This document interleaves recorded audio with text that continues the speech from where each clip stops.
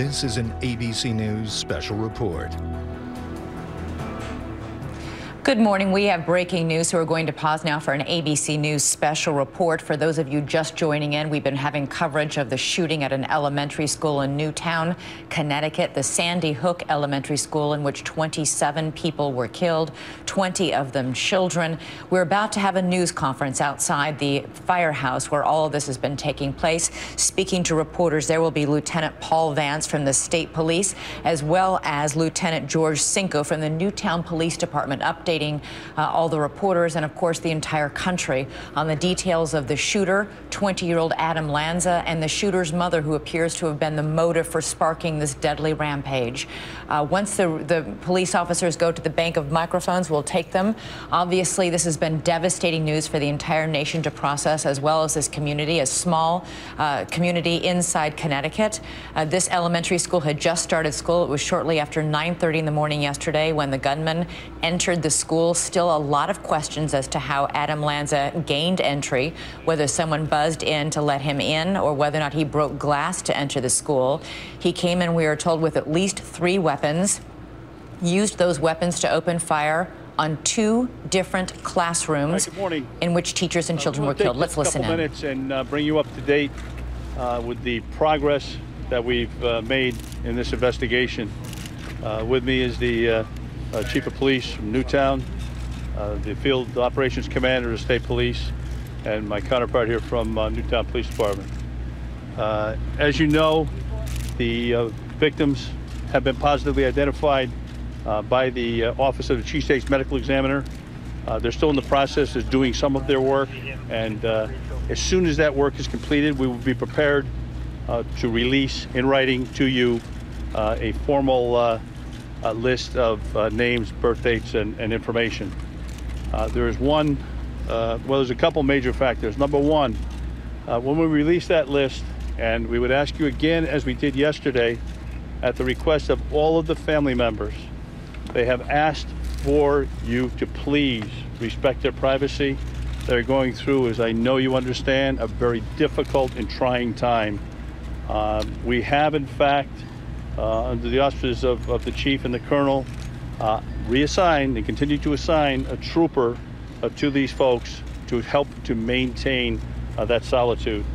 Uh, so again, I would ask you, and I'm pleading with you, uh, as you know, this is extremely heartbreaking, difficult thing for these folks to endure, to please abide by their requests. Um, in addition, for the townspeople in the town of Newtown, a crisis intervention team from Yale New Haven Hospital has been established uh, here in the community, and they can be reached via telephone. Uh, that telephone number is 203 270 4283. And again, they're, they're open and they're available to anyone in the community who may have uh, the need to discuss, to talk, uh, to to uh, talk about this uh, this incident in its entirety. Um, I have the ability to take some questions. I just simply want you to understand that we still have major crime detectives and Newtown detectives working at the scene in the school. That is not completed. That probably will not be completed for at least another day and a half to two days. And I'm putting a time limit on it, and it could take longer. Uh, as I explained to you in previous press conferences, we've done everything we need to do uh, to literally peel back the onion layer by layer, okay, and examine every crack and crevice of that facility. And that does not include, or exclude, I should say, the outside of the building. The outside of the building is also part of the crime scene, every single vehicle in that lot. So it's going to be a long, painstaking process. Uh, we actually have three teams now, three major crime teams in the community uh, our, our, local partners are working with us, and, and we're going to move that as uh, and expedite that along as quickly as possible. Uh, we had a meeting uh, this morning, and that was a delay with the uh, superintendent of schools. She will be um, hopefully in the not too distant future up here to talk briefly um, about some of the issues that that she has encountered. the minute the medical examiner is done, and I mean that sincerely, the minute he is done, he is coming here and we will uh, again provide provide all the detailed information or as much detailed information as we can relative to uh, of the work that his office did uh, both overnight and, and continue to do as we speak. Um, again, as far as actual specific questions, I'll take a few, but I have to tell you, all right, there are certain things that were just simply cards that we're holding close to our chest uh, in this investigation until, so nothing's taken out of context and we have continuity of, of all the information that we provide. Yes, sir. Well, there were reports that there were other guns other than what he used found in the school. Are those reports accurate? No, that's that's that's not accurate. The uh, the weaponry that uh, that was recovered by our uh, investigators recovered in close proximity of uh, of the deceased. And again, we're we're investigating the history of each and every weapon, and we will know every single thing about those weapons. And I know follow-up questions are legally registered, who are the owners, and so on and so forth. That's all being done by the investigator that's assigned to that task.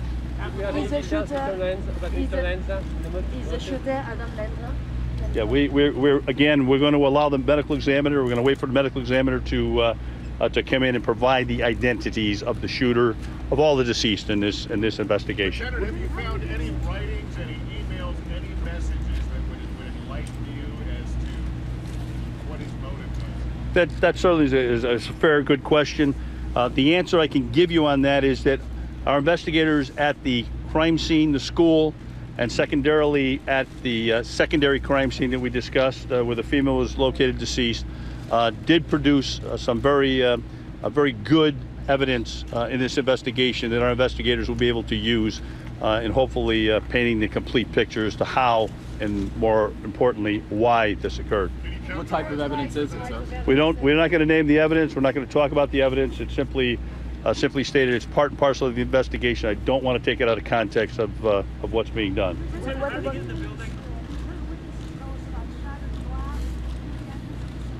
We have established the point of entry. Uh, it was. Um, I can tell you, it was. It's believed he was not voluntarily let into the school at all. Uh, that he forced his way into the school, but that's as far as we can go on that. Are there any broken windows in the school? Are there what?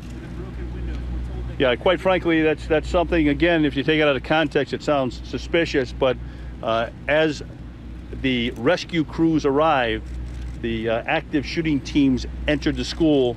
They entered the school from several different points, and it necessitated forcing their way in to gain access to perform the rescue and to save as many students and faculty as they possibly could.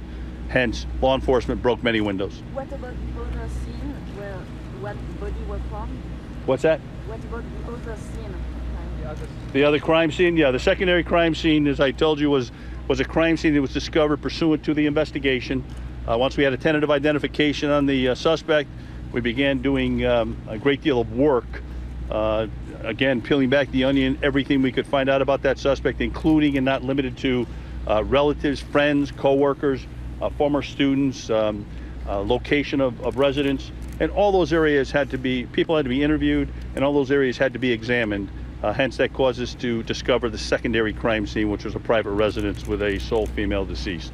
And Tim, was, was the evidence or the house, what- the evidence at the house, do you think it will provide you a motive or an explanation as to why he went to the school? To be determined. The detectives will will certainly analyze everything and put a complete picture together of, of the evidence that they that they did obtain, um, and we're hopeful. We're hopeful that it'll it'll paint a complete picture as to how and why this entire incident, uh, unfortunate incident, occurred. on the other crime scene? Did you find a man or a woman? I'm sorry. There was one woman who uh, was shot and survived. How was she doing? Uh, she she is doing fine. She she has been treated and and uh, she'll be instrumental in this investigation. I'm sure you can understand. That I don't know. That I don't know. accurate to say, Lieutenant, that the shooter in this case uh, appeared to break into the school? Force forcibly force his way into the school. That would be that would be accurate according to investigators. Yes. And does it appear to use weapons to break I. I, I don't I don't want to be too specific because quite frankly I don't know. So I, I would simply I've been informed that it was forcibly entered and was not allowed to enter, if you will. All right, what I what I'd like to do is is, is I'd like to uh, get the next portion, if you will, of today. And I, I don't want to keep you here all day. I want to try and do this as expeditiously as we possibly can and get as much information out to you. Uh, we'd like to get the uh, uh, the superintendent definitely wants to come up with the town leaders uh, to to discuss uh, uh, certain areas of her responsibility. And then we, we certainly want to get the medical examiner up here. And again, we'll do that as quickly as we possibly can so we can get the list of IDs and all the information out to you. For any of you that are new here today, a lieutenant and I have put together a, a written press release. Uh, we'll, we'll provide those to you uh, at my vehicle. Please don't rush my vehicle. We have we should have enough for everyone, and if not, we'll bring more uh, next time we come up. And it just lays out the basic details of everything leading up up until uh, today. Lieutenant, All right, we will uh, we will try. I don't want to give you a time, but we will try to be back here. I'm going to say within the hour. I'll, I'll make notification to some of you that uh, that I can that we're on the way. All right. Yes, sir. Lieutenant, One does question. the mother of the, the shooter have any connection to the school? Now you have to understand that after the shooting, that we did a complete and thorough search of the entire area, the neighborhood, uh, with our local partners. Everything, everything was examined. If we found anyone that was in the woods cutting wood, they would be they would be detained uh, pending the investigation. So there were no other arrests that were associated with this with this investigation uh, that occurred. Okay. So what about the mindset? So what about the mindset of him? Um, I would I would have you address that with the uh, with the superintendent of schools. Okay, we can she can she can give you that answer. We're, we we will we will be back. I need to get if I don't get here, we're going to be here quite some time. I know you have a lot of questions. And I think the people that are coming here that are, we're bringing here to speak to you can really answer these questions and put a lot of uh, take a lot of the mystery out of, of what we've been dealing with for the last 24 hours. What about his mindset though through your investigation? Have you Okay, heard what people we will we will be back. Was it man or woman? And Lieutenant Paul Vance from Connecticut State Police wrapping up his press conference. Obviously, some news emerging there. First of all, they have positively identified all of the victims. Remember, 20 of them young children. They'll be re- releasing the list of those names, which I'm sure looks like a, a kindergarten or first grade class list uh, with all those names and ages and dates of birth, pleading with the media to give those family privacy. Um, those families grieving an unimaginable loss at this point, giving a hotline number to anybody in the community needing uh, therapy, counseling over the phone. A lot of people we know will be reaching out to that.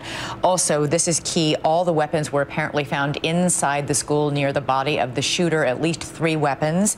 There's been good evidence for a motive for the shooting that was found at the uh, the victim's home that he apparently shared with his mother, uh, where he had apparently before going to the school and opening fire on all those children, uh, killed his mother by firing on her at point blank range. Also, evidence that he forced his way into the elementary school after speculation that perhaps he'd been buzzed in, and that finally, uh, the sole survivor in this shooting, one person survived that shooting, will be uh, crucial to the investigation going forward. She is doing fine, and obviously will have valuable evidence uh, for police going forward.